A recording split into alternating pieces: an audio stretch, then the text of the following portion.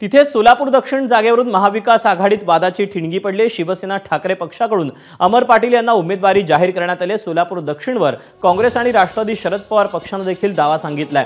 काँग्रेसकडून माजी आमदार दिलीप माने इच्छुक आहेत. तर राष्ट्रवादी शरद पवार पक्षाकडून धर्मराज काडादी हे इच्छुक आहेत.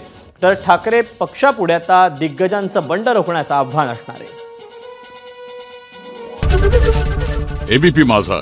उघडा डोळे बघा नीट.